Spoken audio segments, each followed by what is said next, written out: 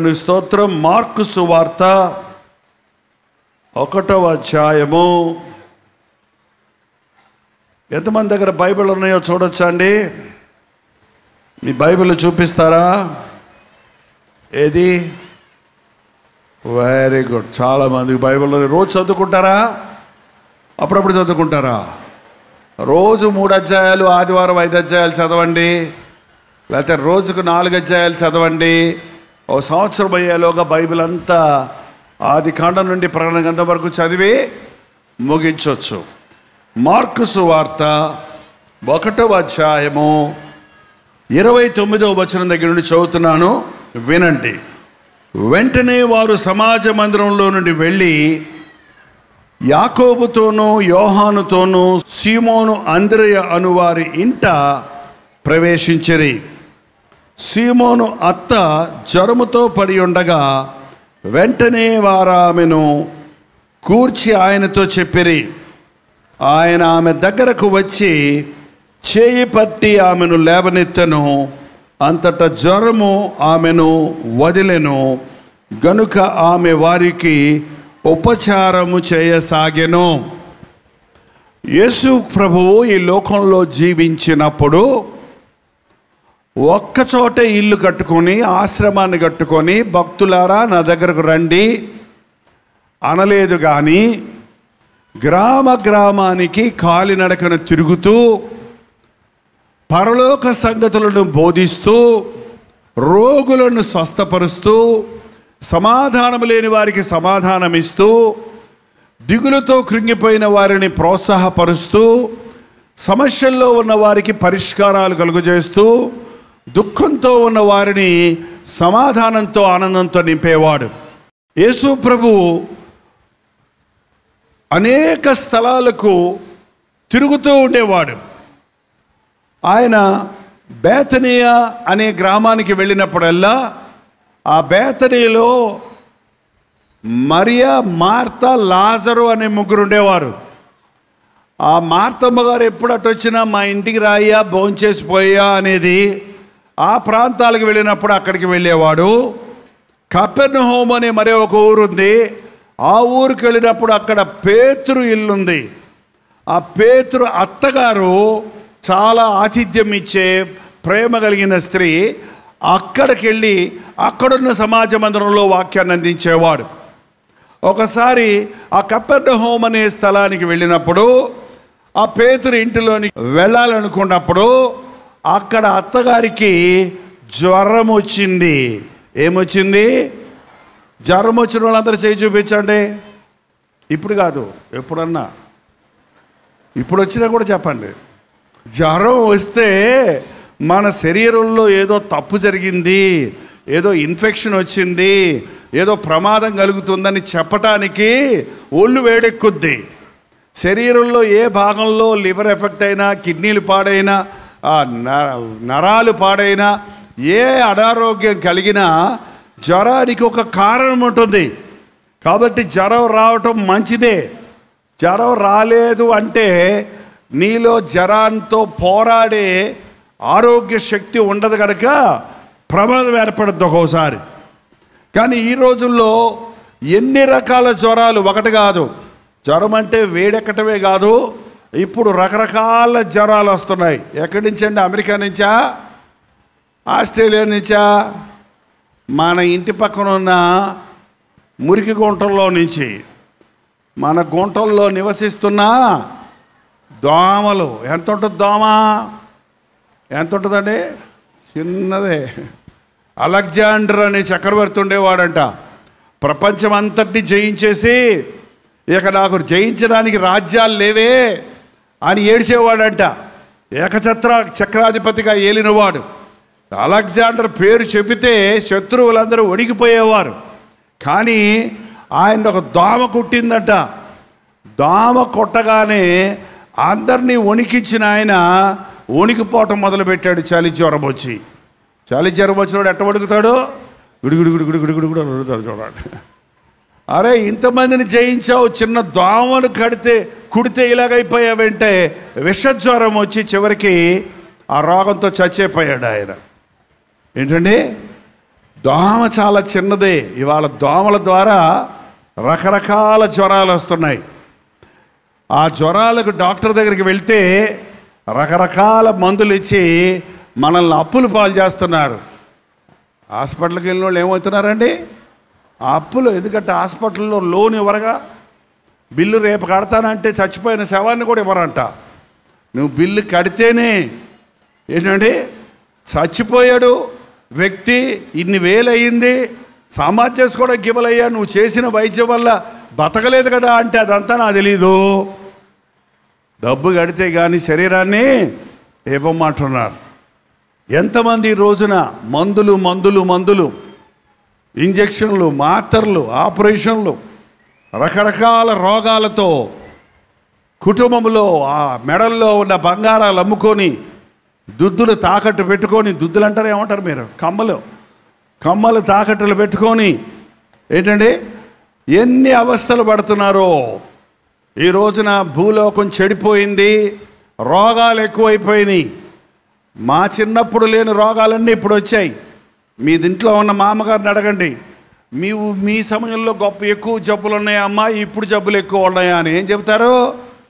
ఈ జబ్బులన్నీ మా కాలంలో లేవమ్మా అంటారు. అప్పుడు ఎక్కువ మంది డాక్టర్లు ఉన్నారా? ఇప్పుడు ఎక్కువ మంది డాక్టర్లు అడగండి. అప్పుడే డాక్టర్లు లేరు జబ్బులు తక్కువే డాక్టర్లు తక్కువే. ఇప్పుడు జబ్బులు ఎక్కువే డాక్టర్లు ఎక్కువే హాస్పిటల్స్లో ఎక్కువే. మందులు కొత్త కొత్త మందులు వస్తున్నాయి. మందులతో పాటు కొత్త కొత్త జబ్బులు వస్తున్నాయి. బైబిల్ చెప్తుంది పాపము వలన వచ్చిన జీతము మరణము. పాపమిచ్చే బేట బేట అంటే తెలుసా? టీ ఖర్చుకి ఏ రోజుకి ఆ రోజు ఇస్తారు చూడండి. బేట రోగం అంట. పాపం చేసిన వాడికి రోగాలు వస్తున్నాయండి. మేమేం పాపం చేయలేదండి అంటారు చాలామంది. మేమేం పాపం చేయలేదండి? తలపోటు వచ్చేస్తుందండి. ఎవరన్నా ఎవరినన్నా తలంచుకుంటున్నావా అమ్మా? అదేనండి మా అత్తగారే గుర్తొస్తుందండి. మా అత్తగారు గుర్తొస్తుంటే కోపం వస్తుందా సంతోషం వస్తుందమ్మా కోపం కాదు పళ్ళు కొరికేసుకుంటున్నానండి. మరి నీ కోపమే నీ శత్రువు.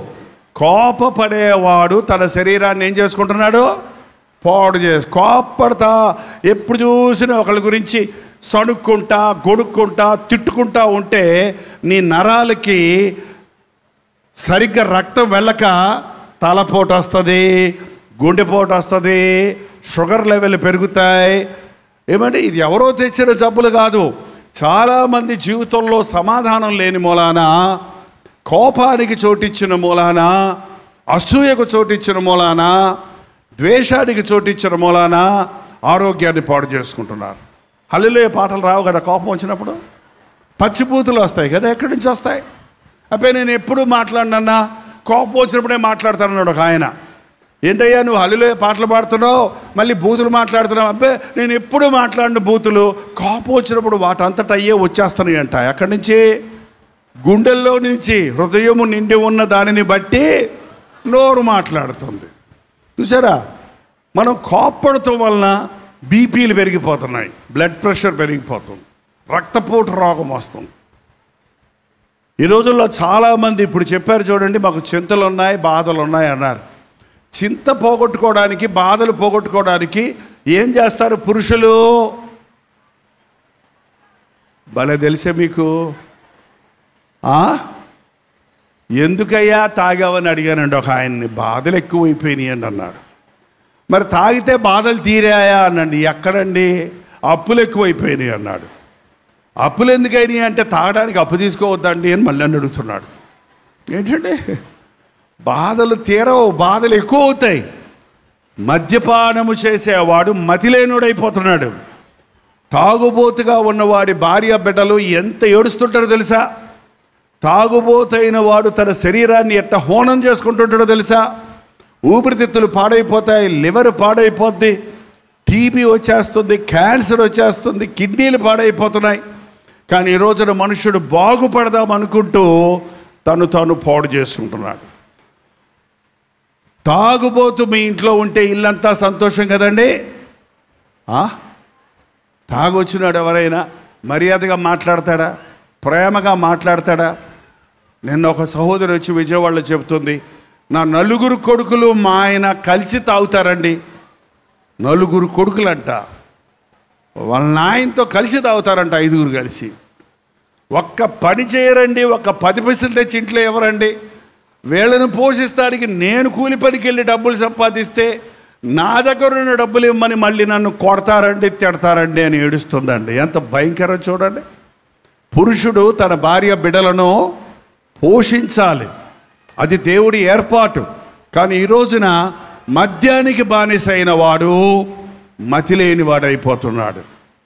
వ్యసనాలకు బానిసలైపోతున్నారు. దానివల్ల రోగాలు ఎక్కువైపోతున్నాయి. దానివల్ల ఆదాయం అంతా వృధా అయిపోతూ ఉంది. అంతేకాదు ఒక తాగుబోతు బిడ్డలు కూడా తాగుబోతులు అయిపోతున్నారు ఒక తాగుబోతు ఇంట్లో ఉంటే ఆ ఇంటిలో దుఃఖము వేదన కలుగుతుంది. అంతేకాదు తాగుడుకు బానిస వాడు నూరేళ్ళు బతుకుతాడా ముప్పై ఏళ్ళు బతుకుతాడా? తొందరగా చచ్చిపోతాడు. కారణం తన శరీరంలో అవయవాలన్నీ పాడైపోతున్నాయి. అధికముగా దుర్మార్గపు పనులు చేయకము నీ సమయమునకు ముందే నీ కాలమునకు ముందే నీ వేళ చనిపోవలను అని దేవుని వాక్యంలో చెప్పబడుతూ ఉంది. ఈ రోజున మన బాధలు పోగొట్టుకోవడానికి మరో బాధను. మరి పురుషులు తాగుతారమ్మా స్త్రీలు ఏం చేస్తారు? బాధ వస్తే ఏం చేస్తారమ్మా? ఏడుస్తారా? ఏడ్చి ఏడ్చి ఏడ్చి ఏడ్చి కళ్ళు ఊపిపోయేదాకా ఏడ్చి నోరు ఎండిపోయేదాకా ఏడ్చి. ఏడిస్తే బాగా తీరిద్దా మీరు ఏడిస్తే ఆడవండి కానీ ఏసై దగ్గర ఆడవండి ఎక్కడ ఆడవాలి యేసు ప్రభు దగ్గర ఆడ మనుషుల దగ్గర ఆడవకండి మిమ్మల్ని మీరే చూసుకొని ఆడవకండి యేసు ప్రభు నా కుటుంబాన్ని కట్టు. నా భర్తను మార్చు. నా బాధలు తీర్చు అని ఆయన సన్నిధిలో ఏడిస్తే మీకు తెలుసా మన కన్నీరు దేవునికి కనబడతాయండి. హిస్కే అనే ఒక రాజు ఉన్నాడు. నీవు మరణమవుతావు నువ్వు బతకవు. నీ ఇల్లు చక్కబెట్టుకో ప్రవక్త వచ్చి కబురు చెప్పి వెళ్ళాడు. హిస్కే ఏం చేశాడంటే గోడ తట్టు ముఖం తిప్పుకొని కన్నీళ్ళతో ప్రభా నన్ను జ్ఞాపకం చేసుకో అని ఒక చిన్న ప్రార్థన చేశాడు. వెంటనే ప్రవక్త తిరిగి వచ్చేయమన్నాడు తెలుసా? నీ ప్రార్థన నేను విన్నాను. నీ కన్నీళ్ళు నేను చూశాను. ఇంకా పదిహేను సంవత్సరాల ఆయుష్ నీకు ఇస్తున్నాను. ఎంత అద్భుతమైన దేవుడు. మన కన్నీరును చూచి మనం ఏడిస్తే ఏడ్చేవాడండి యేసు ప్రభు మరియ మార్త లాజర్ ఇంట్లో మా లాజరు చనిపోయినప్పుడు సమాధి చేసేసిన తర్వాత ప్రభు వచ్చాడు నాలుగో రోజున. అక్కడ మారియా మార్త ఆమెతో ఉన్న వాళ్ళందరూ ఏడుస్తుంటే ఎందుకు ఏడుస్తారండి ఎవరైనా చనిపోతే? ఇంకా లేడు మనకి ఇంకా రాడు మనకి. ఈ వ్యక్తి మనల్ని వదిలిపెట్టి వెళ్ళిపోయాడని ఏడుస్తాం. అందరూ అందుకు ఏడుస్తున్నారు. యేసుప్రభు కూడా ఏడ్చాడంట. ఎందుకు ఏడ్చాడు? ఆయనకు తెలుసు లాజర్ను తిరిగి లేపబోతున్నాడు. లాజరు మళ్ళీ బతుకుతాడని మరి ఏడ్చాడు? ఎందుకు ఏడ్చాడు? అక్కడున్న వాళ్ళందరూ ఏడుస్తుంటే వాళ్ళ మీద ఉన్న ప్రేమను బట్టి యేసు కన్నీళ్ళు మీకు తెలుసా? మనం ఏడిస్తే మన యేసు ప్రభు ఏడ్చే దేవుడు అండి మనం సంతోషిస్తే సంతోషించే దేవుడు. మనల్ని ఎంత ప్రేమించాడంటే ఆయన ప్రాణమిచ్చినంతగా ప్రేమించాడు. ఇంతకంటే ప్రేమించే వాళ్ళు ఈ లోకంలో మన ఎవరి మనకి ఎవరన్నా ఉన్నారా? మీ పిల్లలు మీకు ప్రాణం ఇస్తారా? మీ ప్రాణం తీస్తారా? ప్రాణం తీయకరా? ఇసికించకరా? ప్రాణాన్ని ఇసికించకరా? అంటున్నారు కదండి అమ్మోళ్ళు ఇవాళ.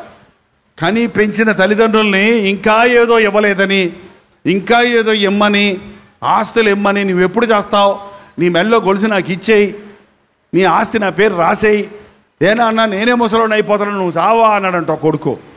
నేనే ముసలోని అయిపోతాను నువ్వు చావా నీ ఆస్తి నాకు ఇవ్వా అన్నాడంట. ఏంటంటే ఈ రోజుల్లో మనుషులు ఆస్తుల కొరకు ఒకళ్ళొకళ్ళు చంపుకుంటున్నారే కానీ ఒకరికొరకొకరు ప్రాణం పెట్టేవాళ్ళు ఎవరున్నారు? ప్రభు అయిన యేసుక్రీస్తు తప్ప. అందుకనేనండి యేసు ప్రభువును నమ్ముకోండి మనుషులను నమ్ముకున్నట కంటే యహోవాను ఆశ్రయించటం మేలు. యేసు ప్రభువును నమ్ముకున్నవాడు ఎప్పుడు దరిద్రుడు కాడు ఎప్పుడు దిక్కుమాలిన వాడిగా ఉండడు ఎప్పుడు ఏ పరిస్థితుల్లో ఉన్నప్పుడు ఉన్నప్పటికీ తన జీవితంలో దేవుని సహాయాన్ని కలిగి ఉంటాడు. నీ జీవితాన్ని ప్రభు చేతుల్లో పెడితే అది ఆయన ఆశీర్వదిస్తాడు. సాతాను చేతుల్లో పెడితే నిన్ను చప్పగా పీకేస్తాడు అంతే. ఒకడు రసాలు పండు తింటున్నాడంట మామిడి పండు. తింటుంటే రసం వస్తుంది కదా సురుసురు అని. పక్కన వాళ్ళ ఫ్రెండ్ వచ్చారు కొంచెం నాకు పెట్టరా అన్నాడంట. ఉండరా అన్నాడంట. అరే అన్ని తాగి తినేస్తున్నారా? పెట్టరా ఉండరా ఉండరా. అయ్యి కొంచెం పెట్టరా తినేస్తున్నారు. ఉండరా ఉండరా అని మొత్తం చీకేశాడంట మొత్తం చీకేసి తొక్కంతా చీకేస్తుంటారు. తొక్కన్నా ఎవరా? అంటే ఉండరా ఉండరా అన్నాడంట.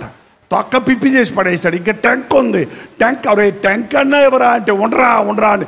టెంక్ కూడా బాగా చీకేసి చప్పగా అయిపోయిన తర్వాత ఇదిగోరా అని ఇస్తున్నాడు అంటండి. ఏం ఏం చేసుకుంటావు అది? ఏంటండి? మన యేసుప్రభు నీ బాల్య దినాలందే.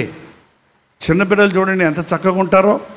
మచ్చలు లేకుండా ఘాటులు లేకుండా కల్మషం లేకుండా బాల్ బాలుడిగా ఉన్నప్పుడే నీ కుమారు నా కుమారుడా నీ హృదయం నాకు ఇవో యవనస్తులు చూడండి ఎంత గ్లామర్ ఉంటుందో ఎంత చక్కగా చురుగ్గా ఉంటారో ఎంత యాక్టివ్గా ఉంటారో ఎలా పరిగెత్తగలరు ఎలా నేర్చుకోగలరు ఎలాగ కొత్త కొత్త విషయాలు చేయగలరు.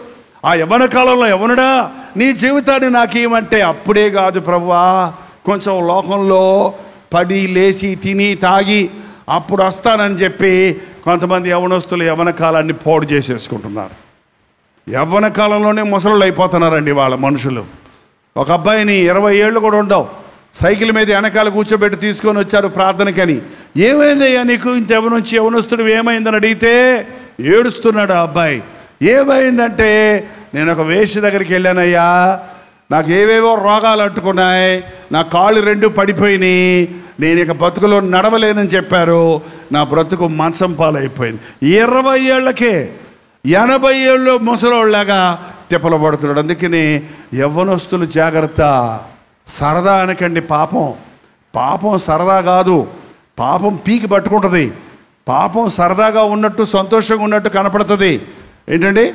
లోక సంబంధమైన వ్యభిచారము శరీర ఇచ్చలు త్రాగుడు ఇలాంటి దురభ్యాసాలన్నీ సరదాగా ఉంటాయి అనుకుంటావే కానీ ఒక సమయం వస్తుంది అవి నిన్ను పట్టి పీడిస్తాయి వాటిని విడిచిపెట్టాలంటే నీ తరం కాదు. నీ బాల్యదనములోనే నీ సృష్టికర్త జ్ఞాపకం నీ యవ్వన కాలంలో నీ ప్రభువుని వెంబడించు. నువ్వు కుటుంబీకుడు అయ్యావా? ఇంకేమాత్రం ఆలస్యం చేయొద్దు. పెళ్ళైన తర్వాత కూడా చాలామంది కుటుంబాల్లో దీవెన లేదు. పెళ్ళైన మూడో రోజు నుంచే గొడవలు. పెళ్ళైన మూడో నెలల నుంచే విడాకులు. పెళ్ళైన ఆరో నెలలోనే అమ్మగారింటికి వెళ్ళిపోయింది మావిడి అని చెప్పేవాళ్ళు చాలామంది ఉన్నారండి. పూర్వకాలం భార్య అలిగెళ్ళిందని చెప్పేవాళ్ళు. ఇప్పుడు ఇంకోలా చెప్తున్నారు నాకు అక్కడక్కడ. మా ఆయన అలిగి వెళ్ళిపోయాడండి తొందరగా మా ఆయన ఇంటికి వచ్చేటట్టు ప్రార్థన చేయండి అని. ఈ మా పురుషులు కూడా అలిగి వెళ్ళిపోవటం ఏంటండి? రోడ్డు మీద దేశ దిమ్మరలా తిరగటం ఏంటి? కారణం దేవుని లేని ఇల్లు సాతాను నిలయమవుతుంది వివాహమైన తర్వాత మీ ఇద్దరి మధ్య యేసు ప్రభు ఉంటేనే మీ ఇంటిలో శాంతి సమాధానాలు ఉంటాయి. మేము మీలో ప్రేమ ఐక్యతలు ఉంటాయి. ఇద్దరు మనుషుల్ని ఒకటి చేయకుండా చేసేది సాతాను. భార్యాభర్తలు వేరు చేసేది సాతాను. నిజం చెప్పండి ఇక్కడున్న భార్యాభర్తలు మీ ఇంటిలో మీ భర్త మీరు ఏక మనసు కలిగి ఉన్నారా? దేనికైనా మీరు ఏకీభవిస్తున్నారా? కలిసి ప్రార్థిస్తున్నారా? ఆయన ఒకటి చెప్తే నువ్వు ఒకటి చెప్తావు నువ్వు ఒకటి చెప్తే ఆయన ఒకటి చెప్తాడు. రోజు గొడవలే ఇంట్లో. రోజు ఘర్షణలే అంటే మీ ఇంటిలో యేసు ప్రభు లేడన్నమాట. పెళ్ళైన మొదటి రోజు నుండి ప్రభువుతో నడవటం నేర్చుకోవాలి. పిల్లలు పుట్టారంటే ఇంకా నీవు ప్రభువు నమ్ముకోకపోతే చాలా ప్రమాదం. నీ బిడ్డలను దేవుని ఆశీర్వాదాలతో పెంచాలంటే దేవుని ఆశీర్వాదం నీ ఇంటిలో ఉండాలి. నీ బిడ్డలు యోగ్యులు అవ్వాలంటే దేవుడు నీ గృహంలో ఉండాలి. యేసుక్రీస్తును మీ ఇంటికి ఆహ్వానించండి. పేతురు అత్త ప్రభువుని ఆహ్వానించింది. ఆ ఇంటికి వెళ్ళేటప్పటికి ఆమె జ్వరముతో పడి ఉంది మంచం మీద. ఆమె జ్వరంతో ఉంది కాబట్టి సరేలే ఆమె నాకు ఇవాళ అన్నం వంటి పెట్టదు అని వెళ్ళిపోయాడు ఆయన. వెళ్ళి నేరుగా వెళ్ళి ఆమె చేతిని ముట్టాడట. ఆమె చేతిని అట్లా ముట్టగానే జ్వరము ఆమెను విడిచిపోయాను. ఎంత గొప్ప దేవుడో తెలుసా? హాస్పిటల్కి వెళ్తే జ్వరం పోగొడటానికి వారం రోజులు పడుకోబెడతారు. సలైన్ ఎక్కిస్తారు. ఇంజక్షన్లు వేస్తారు. జ్వరం తగ్గిన తర్వాత మళ్ళీ నీరసం ఉంటుంది ముప్పై రోజులు మళ్ళీ మనకి. కానీ ఇక్కడ ప్రభు ఒక్కసారి ముడితే జ్వరము పోయింది నీరసము పోయింది. వెంటనే లేచి ఆమె ఉపచారము చేశాను. అద్భుతమైన ప్రభు మనకున్నాడు.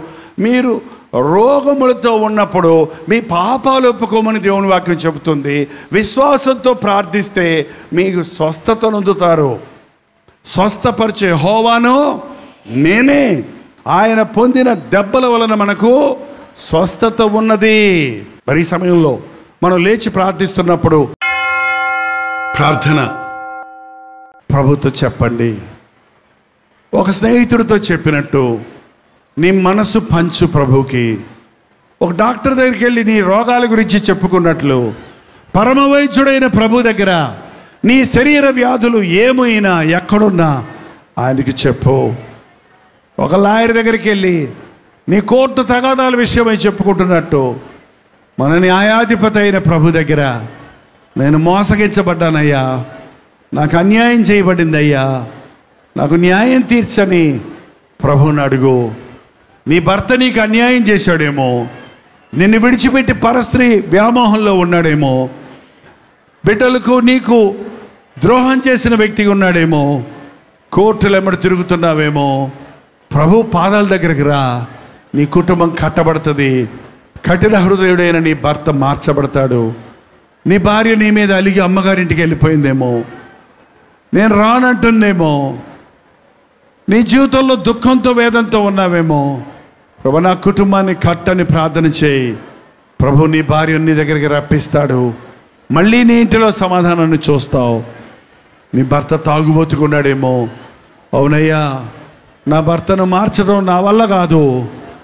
నా భర్త తను తాను మార్చుకోలేడు. ఒక అద్భుతాన్ని జరిగించి నా భర్తకున్న ఈ దుర్వ్యసనాన్ని నుంచి విడిపించమని నా బిడ్డలకున్న ఈ దురభ్యాసాల నుంచి విడిపించమని ఒక చిన్న ప్రార్థన చేయండి. పరిశుద్ధుడా ప్రేమగల తండ్రి నీ నామములో కూడి వచ్చిన నీ బిడ్డలందరినీ చూడయ్యా. నిన్ను నమ్ముకున్నామని చెప్పే వీరి జీవితాల్లో ఉన్న సమస్యల నుంచి విడి విడిపించిన ఆయన రోగముల నుండి వీరిని స్వస్థపరచున ఆయన. వీరి సంకటాలను కుదుర్చుము తండ్రి. స్వస్థపరిచే హోవాను నేనే అన్నమాట. ఈ సమయంలో ప్రతి ఒక్కరి పట్ల నీ కార్యం జరగడానికి సహాయం చేయి. అనారోగ్యాలతో ఉన్నవారికి స్వస్థత దయచేయి. జ్వరములతో పీడించబడుతున్న వారిని నాజరుడైన యేసుక్రీస్తు నామములో స్వస్థపరచుచున్నాము నాయన. ఎవరి జీవితంలో అయితే భార్య భర్తలు గొడవలు పెట్టుకుంటూ కేసులు పెట్టుకొని విడిపోయి విడాకుల కొరకు ప్రయత్నిస్తున్నారో అట్టి కుటుంబాలను కడికిరించిన నాయన. అట్టి కుటుంబాల మీద నీ ప్రేమను కుమ్మరించిన ఆయన అట్టి కుటుంబాలు విచ్ఛిన్నమైపోకుండా తిరిగి కట్టబడినట్లుగా నీ ఆత్మను వారి మీద కుమ్మరించము తండ్రి. ఇక్కడ ఉన్న వారెవ్వరూ నరకానికి పోకుండా ప్రతి ఒక్కరూ రక్షించబడి మారు మనసు పొంది పరలోక రాజ్య వారసులు ఉన్నట్లుగా పరిశుద్ధాత్మను మా మీద కొమ్మరించి సర్వసత్యములోనికి నడిపించమని ఏసు క్రీస్తు నామములో అడుగుచున్నాము తండ్రి. మన తండ్రి అయిన దేవుని యొక్క ప్రేమయు కుమారుడైన క్రీస్తు యొక్క కృపయు ఆదరణకర్త అయిన పరిశుద్ధాత్మ యొక్క సహవాసమును కుడి వచ్చిన మనందరికీ ఎప్పుడునూ సదాకాలము తోడై ఉండును గాక ఆమెన్ ఆమెన్ ఆమెన్.